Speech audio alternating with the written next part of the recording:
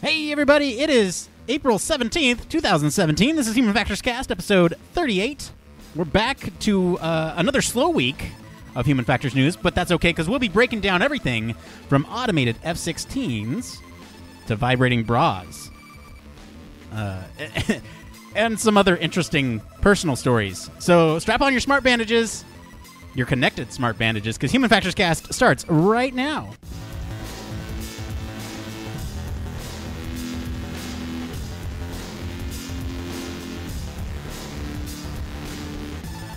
Welcome to Human Factors Cast, your weekly podcast for all things human factors, psychology, and design.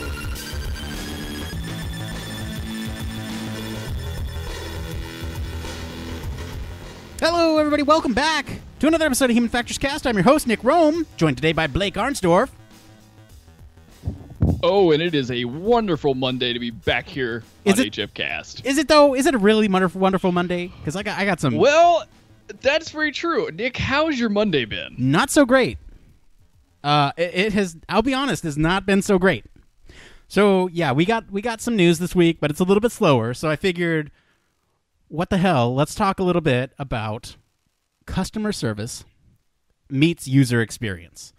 So yeah, man. So I'm excited to hear about this because you got notes on in it. You got it in the show notes. It's obviously about PlayStation's customer service. What has happened? So okay, so to, okay, okay. Oh, oh, as our listeners are familiar, I am a Star Wars fan, right? Okay, so they announced this Battlefront Two game over the weekend, and in my excitement, I mistakenly pre-ordered the thing on PlayStation digitally, right?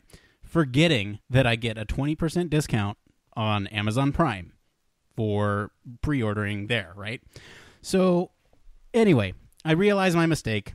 I go to cancel my pre order and I can't do it, right? Their terms of service block you from sort of getting this refund uh, from a game that's not even out yet, right? So I spent my money, digital deluxe edition and everything. It's what, $80 or something?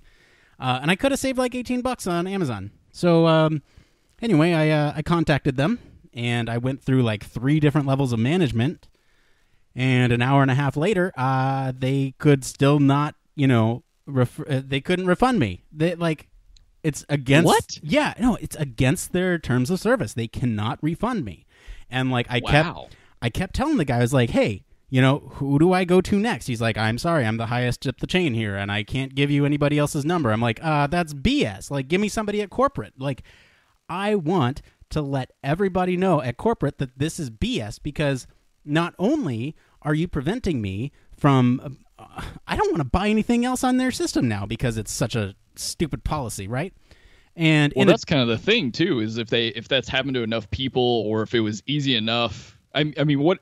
Sorry, let's back up a second. Did you say you accidentally like de- I- just ordered it from them? Okay, so in my excitement, I purchased it from them, yeah. right? So I went to the website and I was like, "Oh, pre-order. Okay, I bought it on PlayStation. I I bought it, right? And then I I remembered, "Oh yeah, I can buy it from somebody somewhere else for cheaper." But no, these guys want my money more than they want my loyalty to their brand, and that really irks me. And so, because we're on a podcast, Blake, and we have this wide outlet where we can shit on anything we want, I just want to call out Sony customer service for being terrible. Oh my god. What a crap user experience, man. Like I am pretty upset about it. Yeah, and that seems like I don't know. I I wasn't involved, but that seems like an odd thing to have in your like user service agreement that if they pre-order something, they can't go back on it. Right. I eh, mean, okay, okay. I, I just don't really see the the point in that for them. So let me break this down too because in some countries it's okay to cancel your pre-order and then in some other countries it's not okay to cancel.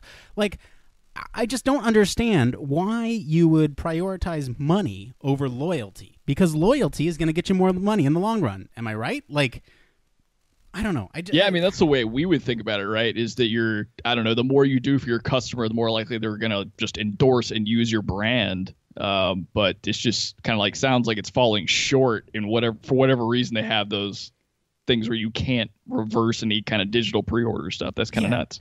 it, it it was it was really uh, an awful experience. And if anyone from PlayStation is listening and can issue me a refund, that would be excellent. Um, because I'm not going to order from you guys again. I'm I'm call- and to any of our listeners, if you're even thinking about something, don't order from Sony PlayStation. Order it from somewhere else. Give somebody else your money. I'm using this platform to to to influence Sony's sales because this is awful. This is terrible. All right, but enough of that. I don't want to like bitch and moan the entire podcast. So let's move on. But to I so you do have something else in here about the Nintendo Switch, Nick. And if I remember do. correctly, going backwards, like we've even talked about some of the bad stories that came up in the news from the design of the Switch. And if yeah, I see that you like finally got to try it out, I I, want to hear how it was. Uh, you know what, man? I was going to go somewhere else with this before I went to the Switch because it would just seem like I was just continuously angry about stuff. Oh no. okay. it's okay. It's okay. There's a reason I put that bullet point in the middle of those. It's okay though. So the Nintendo Switch, uh, it seems like all my suspicions were confirmed. I I had a hard time. Oh, this sucks. I really was hoping it like wowed you or you got excited somehow about it. no, no, it was. Te- uh, uh, it just Oh. there was okay. So it look. Here's the thing. It wasn't as bad as I was expecting, but it wasn't as great as I was hoping. Does that make sense? Like, Gotcha. no, it does for sure.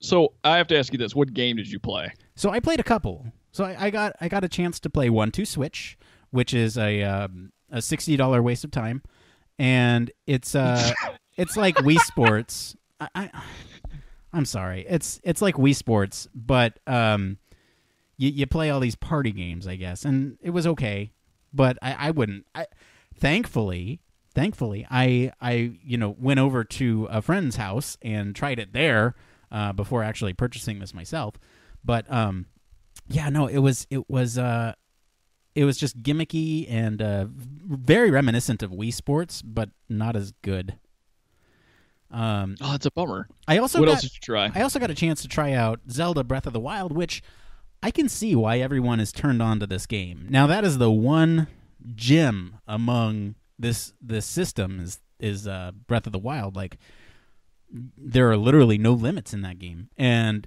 it was apparent just after 10 minutes of playing that, you know, I, I played more than 10 minutes, but after 10 minutes, I could tell, oh, this is something special. So I will be getting one just for that. And, uh, you know, if they bring in other properties, which, you know, Nintendo's near and dear, uh, it could be good. It could be good. But still, the the whole switching the, the switch aspect of the Nintendo Switch where you're, you know, t- picking up the Joy-Cons and putting them in there to another controller. It just it it's all too messy and like the the kickstand thing was really disappointing. I don't know, and, and I talked to the the person who owned it and they were a little disappointed as well. So overall, uh I don't want this whole first what well we're like 8 minutes in to be you know crapping on other people's parades, but uh, let's move on to something positive, man. Are you um are you going to be out at the March for Science this weekend? So I wanted to ask you what this was because I don't even know what it is. Whoa, March for Science. Uh, this is a uh, so the, we had the Women's March a couple weeks ago, a couple months ago, and uh, it's basically uh, a march to say science is a real thing and it's not a, just a liberal conspiracy. It is y- it, there is science based in facts and uh, research, and uh, it's just a way for the scientific community to get out there and express, you know, our our uh, sort of pride for science, if you will. So Nick, this is kind of freaking me out that I'm going to open a can of worms. But who is out there questioning the validity of science? Oh, have um, let's not open that can of worms on the show. But uh, All right, So- incorrect platform. But yeah, that that, that's sounds okay. like an awesome cause. I'm kind of bummed that it sounds like it needs to be done for the case, making a case for science. But know. you know, whatever you got to do to support the cause. I mean, that's I'll have to look that up because this is Yeah. definitely something I'm that's near and dear to my heart. So for sure, for sure. And so I'm not sure which which one I'm going to yet. It could be either uh, Los Angeles or San Diego. But if any of our listeners are listening and uh, happen to see me out there, and potentially you too, Blake, if you're going, let them know uh, through the tweets, the twits, the twitters. Um, it is, yeah. yeah, let them know. And uh, if you guys see us out there, say hi. We are we are not shy, and we will uh, talk to you ad nauseum about human factors and uh, Star Wars and um, poor Sony customer service. Certainly, yeah. Oh man! All right, well, uh, I think that's it for the. Uh, let's waste time talking about platform stuff. Now let's talk about the uh, the little bit of news that we got this week. This is the part of the show all about human factors news. This could be anything from artificial intelligence, virtual reality, automation, medical transportation, psychology, whatever it is. As long as it has to do with the field of you guessed it, human factors, it's fair game. Blake, what do we have up first? So up first, we got a lot of car and GM stories this week, and we'll just kick it off with them. So General General Motors is looking to leapfrog its competitors in the autonomous driving space by developing a larger fleet of cars than any of them, perhaps as many as 300, according to documents obtained by the IEEE Spectrum. Bosch and GM have filed for the FCC's applications to deploy vehicular radar units in Detroit, San Francisco, and Scottsdale. However, the FCC has not yet granted the special licensing for these vehicles, so it could be a while before they are deployed. Now, Nick, I didn't realize that so many different companies, including Bosch and J and GM were really trying to get a fleet of cars out there with these radar units to go ahead and put them on the streets. Yeah, so this really um, this really makes me wonder if they're going to be testing swarm technology, right? To see if uh, you know the the sensors on one car can communicate with another car to inform both the autonomous systems on board and the driver in you know that that may or may not be in the loop uh, what's going on uh, either further down the road or behind them like that. yeah, I mean, interesting to me. It's gonna. I'm assuming they're gonna have to do that, right? And the the thing that struck me is, I guess Bosch and GM are definitely well connected, but how is this all going to interact with separate companies um, outside of the GM? Right. So yeah, that's hmm, who knows. I mean, that's the frontier, man. Like that's that is where uh, we're trying to get to, right? How how can we make it so that way? Um, obviously, the swarm technique would uh, be better for everybody. If everybody communicated, there's like a there's like a, a wireless network that everyone is connected to, and that data is spread across all cars. But of course, because data is proprietary, there will undoubtedly be restrictions on that, and so they are basically trying. From what I've seen, they're basically trying to build it into one car, one system, and if it can communicate with others, fine. But one car needs to be able to do it all. Yeah, and you would I would assume that I mean even if they're going to be competing against against each other, you would want this to be as safe as possible. I mean, you're you're having to compete against each other, but also getting the FCC to approve what you're doing. So I'm, I'm assuming that before the FCC starts licensing and letting vehicles be run autonomously, they're going to have to determine whether technology communicates with communicates across like different vendors of it, be it GM or Bosch or Cadillac or any of those guys. So I'm I'm sure that's a consideration, but it, I don't know if that'll be the easiest thing to go through because that requires a little bit of interaction between GM engineers and let's say people that work for like Tesla or different yeah. companies like that. Yeah, you're absolutely right. Uh, it's it's really comforting though to like look at the human factors news every week and see, oh wow, you know, uh, another company, another more driving cars, more self-driving cars, more autonomy, more um, more of all this technology. But the one piece that I am continuously sort of astounded by is that they're not looking into how the human fits into all this, right? If if you have a completely autonomous system, right, with a with a human that's not in the loop, then you you don't have to worry about the human, right? The car just does everything. But if you have a system where the human has to take over in the case of emergency, then they do have to be aware of what's going on. Uh, and and uh, Cadillac's doing something with that. You want to go on to the next story here? Yes, they certainly are. So Cadillac is rolling out its uh, Super Cruise technology in its flagship CT6 sedan later in the summer. The feature lets the car drive itself on the highway and maintaining position within the lane and maintaining safe di- safe following distance from other cars. It seems like Cadillac's a little late to this party because some other companies like Tesla, Mercedes, and BMW have already rolled out models that can at least do this much. However, Cadillac's difference is that they've deployed a way to ensure the driver is fully engaged in the event of an emergency by installing cameras in their steering wheels. The cameras monitor the actual driver's gaze to ensure that driver keeps their eyes on the road or keeps checking the road in autonomous driving mode in order to keep them in the loop throughout the driving. So this is re- this is really important and kind of interesting as far as the fact that like we we want really like fully autonomous cars, but how do you bridge the gap between okay, something's wrong with the automation, how do we get the user in the loop and they're not making sure they're not like sleeping in the back seat when something goes wrong. And I think this is a, a great way to do it with the gaze monitoring. This is one way to do it for sure. Tesla also has the uh, a way to keep the drivers in the loop where uh, you have to basically keep your hands on the steering wheel, and if it detects that um, your hands are not on it, then it'll start slowing down. Uh, so, so a combination of these methods would definitely make you know it, it easier for the operator. First off. But then you know th- you have to think about other things like just because they're staring forward and their hands are on the wheel doesn't mean their mind is present. It will help with that for sure, but I could very easily be just kind of resting on the steering wheel, gazing forward, daydreaming, uh, and and stuff is going on around me, but I'm not perceiving it. Right, so there's still that whole problem. So it's it's a step in the right direction, but we're not quite there yet. But I think something something to kind of keep in mind too is that at least from the Cadillac version, because that was what the article was about, it does like if it notices that you're not doing the glances in the correct way, it'll start throwing a bunch of auditory alerts at you, and then even if you if you can't seem to grab control of the car at that point, then it's going to stop the vehicle and then call OnStar services for you. So I mean, it's I think it's still really in a good direction just because I mean it's monitoring your gaze, so it's a little more engaging than just like tapping the steering wheel every once and again.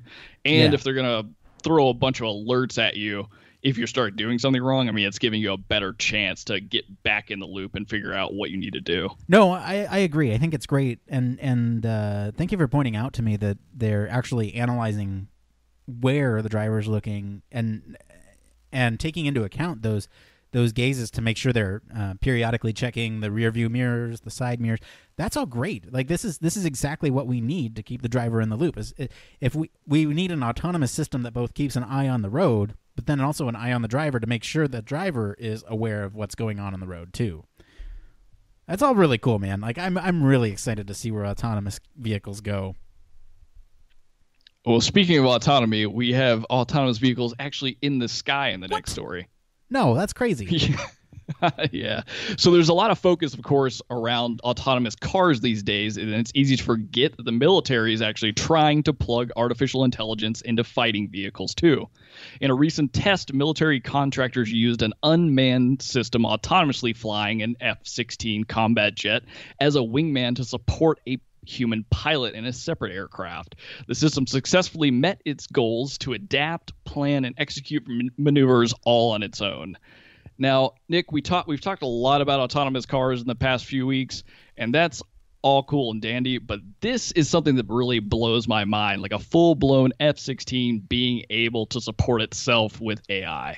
yeah, and the the part that blows me away is not only that it's it's able to support itself, but it's able to support its human counterpart that it's in the sky with. It can analyze the other human's flight pattern and match itself to those flight patterns. And I, I believe they even tested around a couple rounds on this, right? Like they, they did air to ground strikes with this.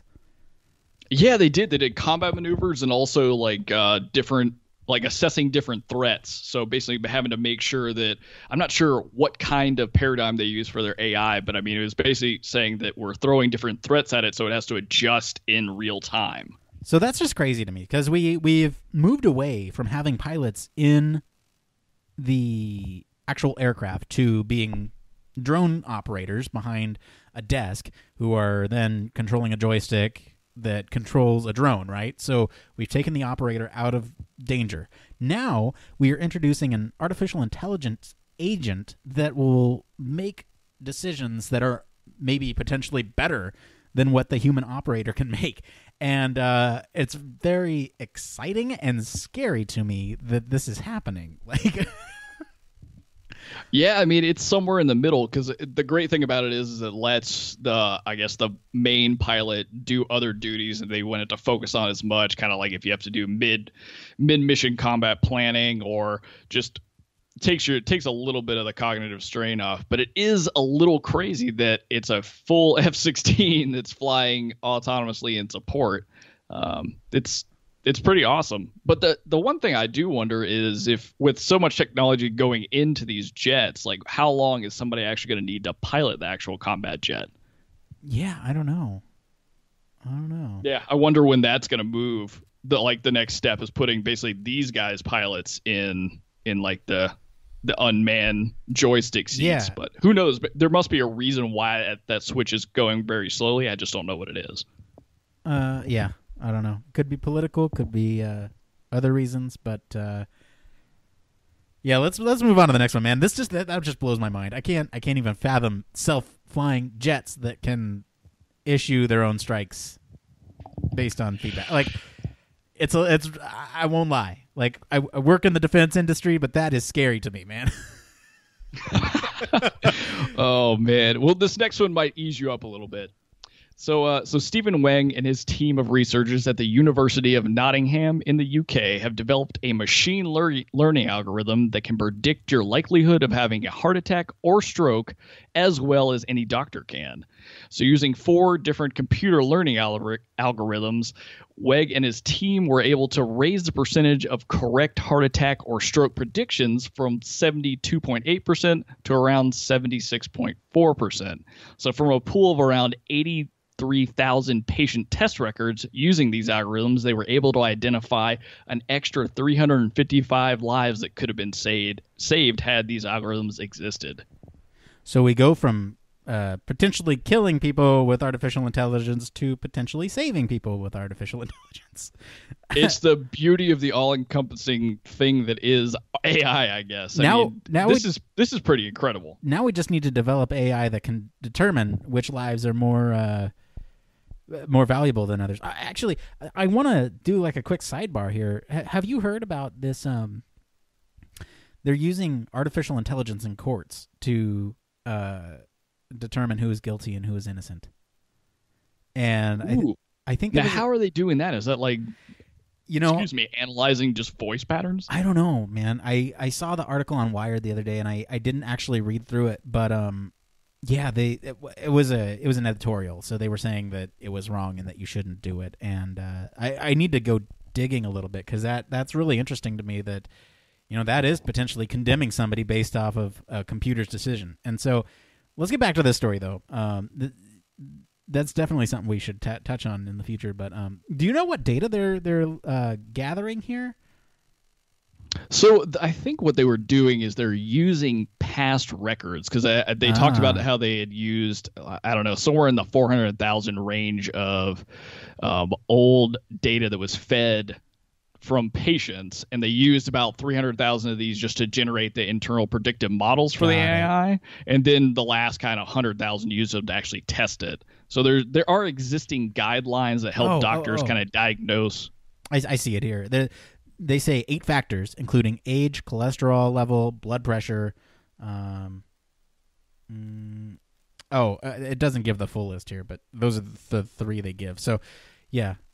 So historical Yeah, so data. like the, the guidelines that exist already that help doctors to Right. you know make these calls. But what was interesting to me about the article is going through using their algorithm, they found correlations that aren't necessarily listed in these d- these eight guidelines. So it's they're thinking this is kind of how the algorithm is able to up the ability to better predict um, heart attack or stroke. Yeah, no, that's that's great. I think this is fantastic. Um, and this kind of plays into what you were talking about. I think last week or the week before we were talking about the woman who um, who sort of was paying attention to her fitness tracker and noticed that her heart rate was higher than it had been, and she went into the hospital and she had a blood clot, um, or or something like that. Right? Am I remembering this correctly? Yeah, yeah, you got it right. So I'm wondering then, yeah, you. I seem to recall you mentioning that something like that they could run an algorithm and potentially warn you if if you are going to have a heart attack or something like that. And so, um, Yeah, I can see that totally being applied to this as well. So I, I think it's great that researchers are out there trying to get, uh, trying to solve these problems using algorithms and um, basically taking that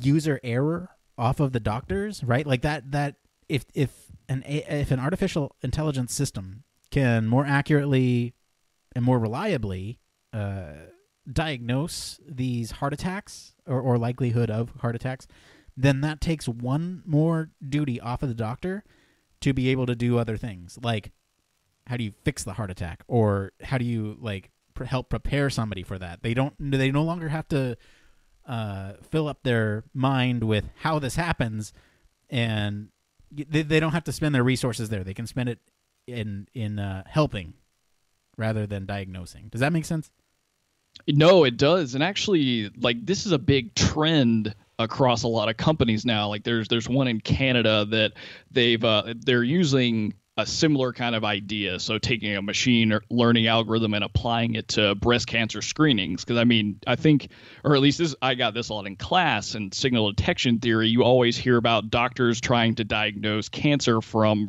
uh, radiology screens or x-rays. And there's like a high percentage of false positives or and even errors in that field. And so using machine learn or machine algorithms can help doctors to not have to one worry if they've made a false positive or if they've uh, misidentified cancer um, and let them focus more on the treatment in oncology versus having to wonder like okay did i make the right call? So i don't know. I think this is only going to increasingly change the medical field especially as we're continuing to get more data from people and it's moving away from being a snapshot right yeah, and I mean this thing this this article says it's it's three percent, right? Give or take. It's like three point five percent or something.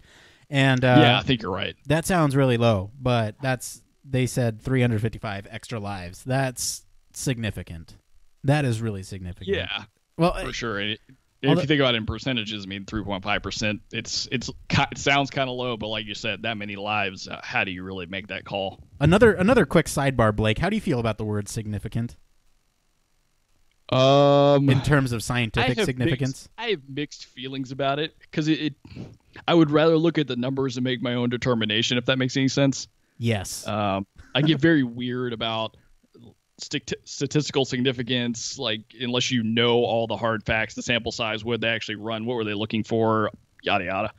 I mean, that, you probably you probably feel something similar, right? I we, do. We've had thesis experiments where it's kind of like, eh, this feels weird. I do, and that's that's our job as scientists is to analyze the research and make sure it's a meaningful contribution right when i was when i was being taught i was always taught don't look at significance look at meaningfulness right and uh, to me 3% it might it might be 0.5 or 0.05 and under right who cares but 355 lives that is significant that is sig- that sorry that is meaningful that is yeah. meaningful uh, I just I just had to bring that up because uh, that's a that's a really great point, man. I actually didn't even think about it like that. But that's an awesome way to look at it. Yeah, my my mentor was great with uh, always teaching me to be looking for that meaningful difference.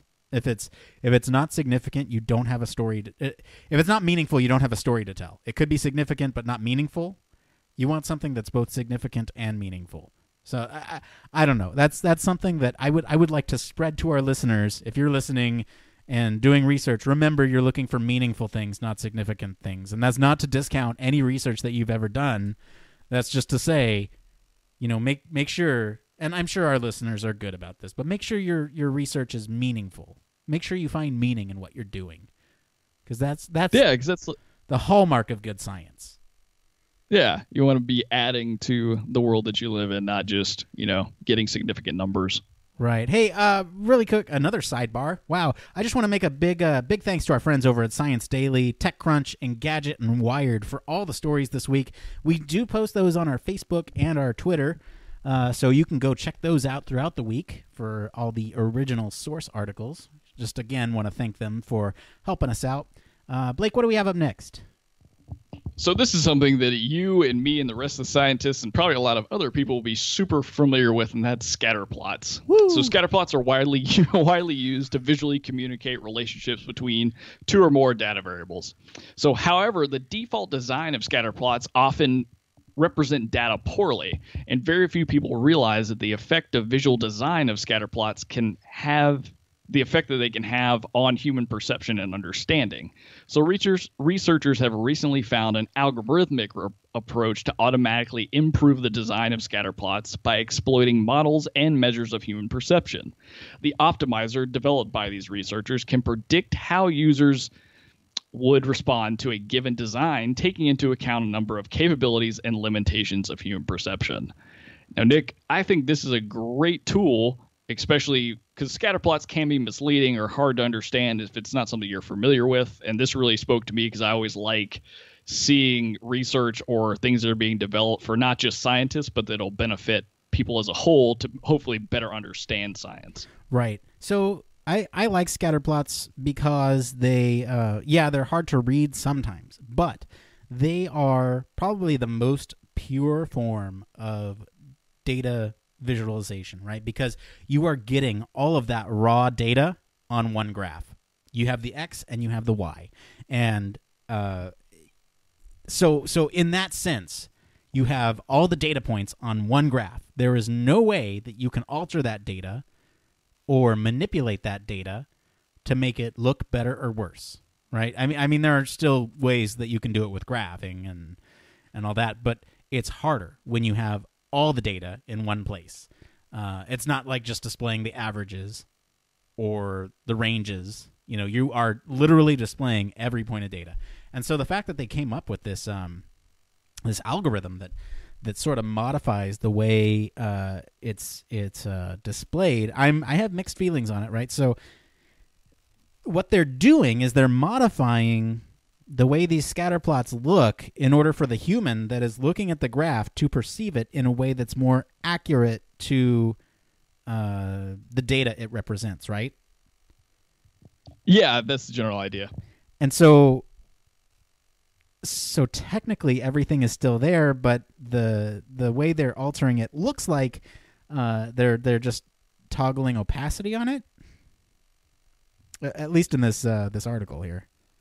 Yeah, I mean that's that's what this one looks like it's doing is just kind of changing some of the visual aspects to make it a little more I don't know, aesthetically pleasing and do it in such a way that it makes people like like looking at it, which is a little hard because you might be losing some of some of the data within that. Right. Or I don't know, I losing mean, a bit of the story the data tells. Maybe is a better way to put it. to me, this looks like a heat map, and uh, again, you guys can follow along with this article. It's the Science Daily one. Uh, th- th- it looks like a heat map to me, and this is this is a good visualization. I kind of like it. Uh, and look, I'm not I'm not against any way that you can um, increase comprehension of data. Right? If it if it leads to a better understanding of what's actually going on, uh, then that's great. And I I think this does. I think this does it, man. Like there's a bigger concentration in the areas that are darker on the right graph. Like that's that's what I'm getting out of this. Yeah, and I think that's the point because I mean, if you look at the one and like Nick said, this is the Science was it Science Daily article. I mean, the one on the right would be maybe a little bit misconstrued if you just looked at it and didn't really know what you're looking at because that's so much, so many data points. I mean, it's it looks The one on the left. complete. Yeah, sorry, one on the left. Yeah. But versus what they've done on the right, how they've manipulated it, it gives you a better sense of okay, here's really the concentration of what's going on. It's much more central than it looks on the left hand side. So I, th- but honestly, and I don't know who this is really geared towards because of course this is a lot done by researchers themselves. But I, I still feel like you would have to know what you were looking at Right. uh, to really make a good interpretation of their results. no, I agree. Yeah, I, I don't know if this is. I think this is a cool idea, and I might use this in some of the data visualizations I'm producing for some of the projects I'm on. Um, just because I I mean I think I like it. I think it's cool. Uh, because yeah, the, the the it's hard to it's hard to display a scatter plot with a million data points on it because then the graph just becomes totally oversaturated with points. But if you toggle the opacity and make it look like a heat map, then I think I think that accurately represents the data. That's that's what ultimately s- you when that's ultimately what you want to get back at is does it accurately represent the data, and can you understand what you're looking at? And I think this does the trick. Yeah, th- I mean they've definitely done it. They called it the optimizer, and I definitely think, think that's what it does for sure. Is that the episode title? The Optimizer. Ugh, there you go. Why not? Free plug for them, right? uh, oh well, maybe not. Uh, we we got to think of a good title. Let's let's sit on that. Uh, maybe, combine Right. that with You one of our keep on moving? the optimizer robotic leg. I don't know. I'm I'm just I'm just spitballing here. What's up next? Why not? All right, so Toyota is introducing a new robotic leg brace called the Welwalk WW1000 that can help patients with partial paralysis affecting one side of their body walk again. The robotic exoframe is worn on the affected leg with a large motor component at the knee joint that provides just enough assistance to the patient, letting them recover on their own on their recover their own walking ability therapeutically over time. So Welwalk will be made available to medical institution in medical institutions in Japan later this year, with the goal of drastic, drastically reducing recovery time for patients overcoming partial paralysis. So I, I don't know. I I thought this one was pretty amazing because again we're seeing like the advancement of robotics applied to the medical field, which has got to be one of my favorite things when we do these stories. Yeah, lots of Um, what do you think about news. it, Nick? Lots of medical news this week. I'm I'm really I don't know, man. Even even being in the in the field and um you know, seeing this stuff every day, I'm I'm consistently blown away with the advances that we're making. Like if you if you were to look 5 years ago at what we were doing and and what we're doing now, like it just I don't know. I'm I'm consistently surprised and it's always presents a new challenge, right? Like how is this person going to strap this thing on? How are they going to use it on a day to day basis? How do they make it comfortable? Like the ergonomics behind this thing, um, the fact that like what is just the right amount of help uh, for their current condition is is different across different people. These are all the problems that us human factors specialists have to come up with or answers to, right? So, I I I I'm looking at all these tools and I'm looking at all the things, all the neat, you know, exciting things that are coming out, and I'm always coming back to what problems do we have to solve then?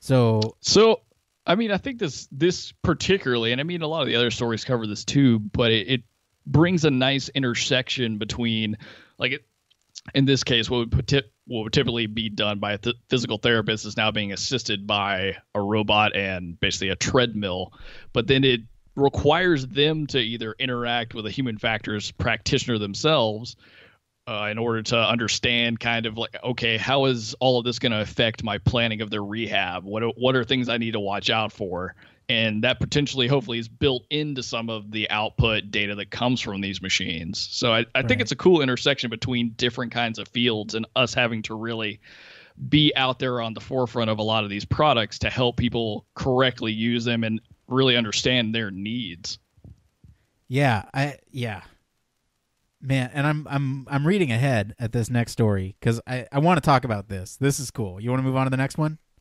Let's do it yeah Let's go. All right. So Welsh researchers at Swansea University are changing how medical bandages work by adding 5G wireless data to them. So these researchers are planning trials of smart 3D printed bandages that will use nano-sized sensors and 5G wireless data to constantly relay details about your health. This technology could help physicians customize treatment plans based on the gate the data ga- gathered Nice. in pro such as the progress of the how your wound is healing, your location, and even your activity level. So Nick, you sounded stoked about this. What do you think? Oh man, it's it's another one of those things where I'm just like the technology will drive work for us. Like I love engineers for coming up with this stuff because it will consistently keep us employed. like Yeah, this one sounds particularly that way because I don't I don't know it it there's a lot baked into a bandage in this in this case. yeah, I'm surprised like I need to read more into this technology like I, I I mean, I'm sure many of our listeners will know like it's hard for us to really wrap our head around some of the engineering stuff um, because we deal primarily with uh, the human side of things. And so to be able to understand how this technology works, uh, I need to dig a little bit deeper, honestly. But my God, this is awesome! This is so cool.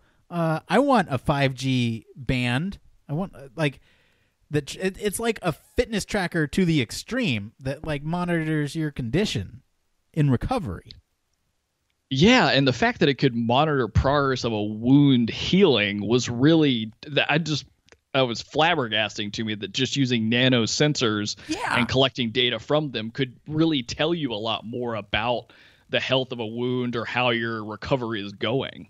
Yeah, yeah. And one and one like particular application of this one that I I thought would be great because it talked we talked a little bit a second ago about kind of like physical therapy with uh, paralysis patients, but if you put this kind of technology in like knee braces or anything like that for joints, you could really see a lot of different benefits and customized treatment plans for people like that.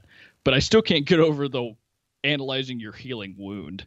I know that is crazy to me. Like it can probably tell the like micrometers of the gash in your skin or something. Like ah, it's so cool. It's so cool to me. It's so cool. Uh what's this next story? Okay, go ahead and go ahead and move on to the next story here. All right.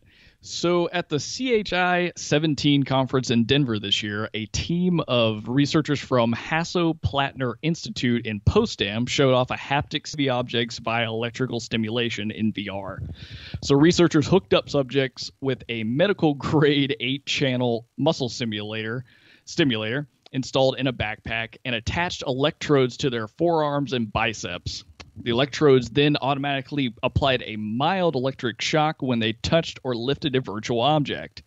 That tenses the, the activated muscle, repulsing the user's hand and making them feel their feel they're pushing against a wall or picking up a heavy cube. Co-author Pedro Lo- Lopes uh, thinks they are thinks there's a need for physicality in VR, and the next big step is bigger force and more physical sensations.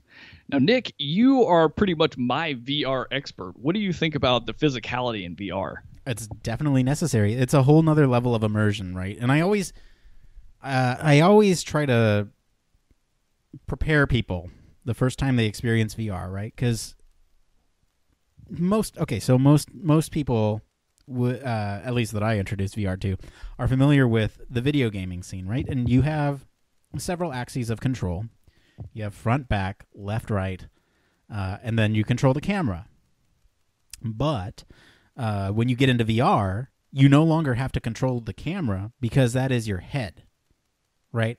So you it's it's one more natural progression for virtual reality control. So if you think about this in the sense of if you are feeling what is happening in the virtual environment as well, that is one more sensory input that you are masking in a virtual environment, right? And uh, I think this is absolutely necessary. And you've seen this before with, uh, or, or at least people, researchers have tried to get around this problem of, um, you know, physicality. So, so there's a there's a researcher in Florida, uh, and I'm blanking on the name. I'm really sorry. Uh, we probably have listeners at UCF, but um, uh, I'm gonna get reamed for this one. I know he did uh, a virtual reality system where it was in this big auditorium, and uh, basically y- you walk, and they alter your perception one frame to the left every couple seconds. So it's imperceptible to you, but you are walking in a giant oval in this room, and it feels like you're walking forever because that one degree or that one frame to the left will subconsciously correct your uh, gait to sort of walk in a circle. And so there's definitely a need for it. Uh, and this is one other way to mask how you are in VR interacting with the physical environment, right? So if you were to, um, you don't want people to run into walls in the physical environment. And if, uh, likewise, if you're running up against the end of a tether on a VR cable or something, you want to provide them with that feedback without breaking that immersion. So to have like a physical wall that they then feel so they're like, "Oh, I can't go any further," and there's you know slack in their um, tether, and by tether I mean the the cable that connects the VR headset to the computer. Um, then they're able to go, "Okay, I get the feedback. I, I need to turn around and go somewhere else." And uh, also, you know, there, there's definitely a need for physicality in VR because you see companies like no, excuse me, Oculus and uh, PlayStation VR developing these uh, handheld controllers that you know map to your physical hands location. And so, yes, there is definitely a need for it. Like I can't speak to it enough. This is cool. Yeah, this is awesome. Like I don't know expansion what VR will be like because I, I think it's great that they're getting so much like muscle activity and then able to use that uh, give you the perception that you're like you're hitting a wall or you're picking something heavy up.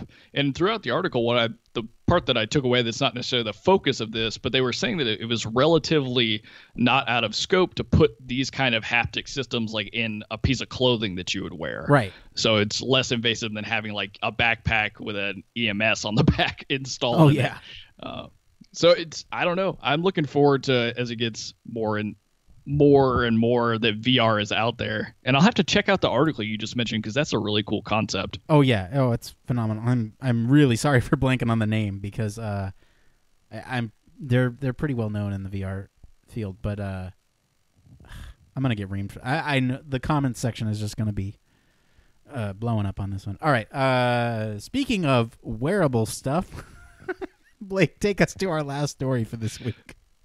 All right. So to wrap things up, the Vitali is a new sports bra hitting Kickstarter that focuses on the other side of your well-being, keeping track of your breathing, posture, and heart rate to help you maintain that yoga-like calm at the on and off the mat. So the bra will track your heart rate, variability, and breathing to keep tabs on your wellness, while a built-in gyroscope and accelerometer help monitor the position of your spine and pecs to make sure that you're maintaining proper posture. If you're slouching or hunched over, the bra will give you a gentle buzz to remind you to sit up. Now, Nick, I was really excited about this because I don't know if you know or if any of our listeners know, but I'm definitely an advocate of physical fitness and love yoga and understand this calm on and off the mat. And I know this doesn't apply to me, but this gives me hope that there will be something similar for guys as far as being able to remind you to keep your spine upright and be measuring that while you're kind of just going throughout your day-to-day life. But I thought was, this was a great, um, great thing to come out, and I'm stoked to see what it does on Kickstarter. Hello, everybody. Welcome back to another episode of Nick and Blake Mansplain the Bra. I think that's the episode title. uh, yeah, no, this is uh, yeah, I I'm always down for more trackers, uh, and because the more data you have available, the better off you are. I feel once you know we can integrate these algorithms that we talked about earlier, and this is just one more thing that if you have this data, you can you can track how you're doing over time. You can track uh, how well you're doing in the moment. I love I love having data about me and my body. And uh, while yes, this is not for men, uh, hopefully they I, I think I they have to have like uh, shirts or something that that do the same thing. Uh, we should we should definitely research on that. Um, well, I mean, all this design really is that, that allows this to happen is what they what what she calls a small like gym device that it that like slips into a part of the bra. So I mean, you could you could easily do that with like a skin tight shirt for a guy to measure the same types of things. Right, right. Uh, do you have any closing thoughts, Blake, on uh, mansplaining I bras? do and- not. All right. Well, that's going to be it for today, everyone. If you have any suggestions for any news stories that we may have missed, uh, you can follow us on all our social media. Head on over to our Human Factors Cast Facebook page. Go ahead and comment on our SoundCloud.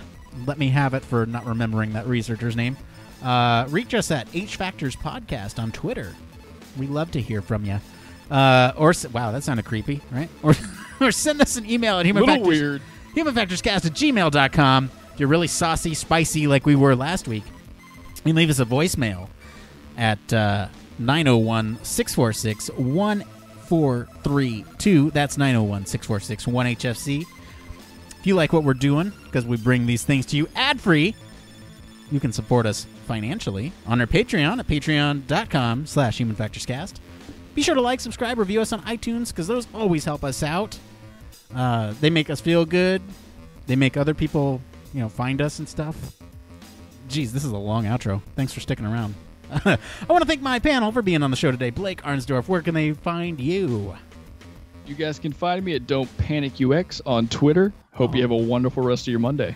On the tweets. As for me, I've been your host, Nick Roome. You can find me on Twitter at Nick underscore Roome. Thanks again for tuning in to Human Factors Cast. Until next time, it depends. Oh, it depends. It depends.